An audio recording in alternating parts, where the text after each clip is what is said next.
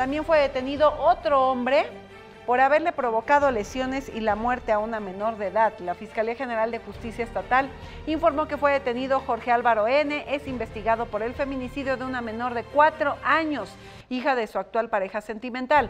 Su aprehensión fue realizada luego de que el pasado 25 de febrero las autoridades de justicia fueron notificadas por parte del personal del Hospital de Especialidades Geriátricas del municipio de Chicoloapan sobre la muerte de una pequeña de cuatro años. La víctima ingresó a dicho lugar sin signos vitales y presentaba diversas lesiones en el cuerpo.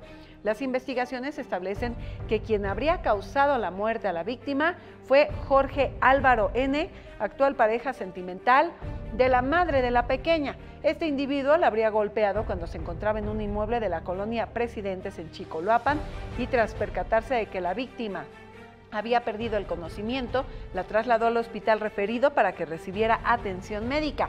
Sin embargo, había fallecido a causa de un traumatismo cráneoencefálico. Este sujeto fue ingresado al centro penitenciario y de reinserción social en Texcoco, en donde quedó a disposición de un juez.